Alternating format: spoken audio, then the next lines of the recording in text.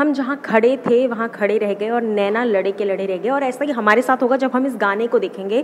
Well hello guys welcome to movies Adda मैं हूँ Jyoti Nahak. Of course Sai Manjrekar is the new addition to the film industry और जब हमने उनका, उनको ट्रेलर में देखा था, तभी बहुत ज़्यादा चाम बहुत ज़्यादा रॉनेस है उनमें, एक फ्रेशनेस है अलग सी। और वो इस गाने में भरपूर देखने को मिल रही है। गाँव की गोरी जितनी खूबसूरत होती है, जितनी सीधी, साधी सिंपल होती है, वैसा ही खुशी का किरदार नज़र आ रहा है। और ये गाना भी वैसा ही कुछ लग रहा है, जिसमें हमें चुलबुल पांडे एक अलग ही अंदाज में नज़र आ रहे हैं।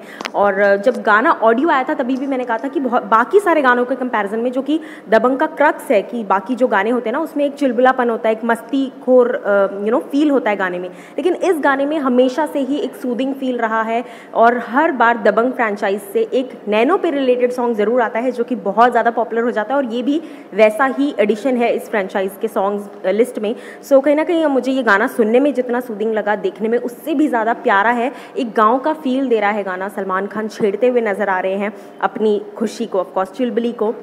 साई मांजरेकर को तो मुझे सही भी बहुत ज़्यादा प्रिटी लग रही है इस गाने में।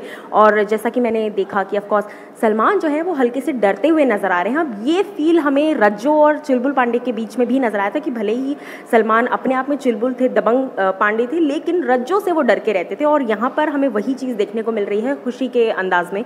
तो कहीं ना कहीं देखना एक्साइटिंग होगा कि रज्जो और चुलबुल की केमिस्ट्री वापस से शुरू हमें देखने को मिलेगी, या फिर खुशी और चुलबुल की कुछ अलग केमिस्ट्री देखने को मिलेगी।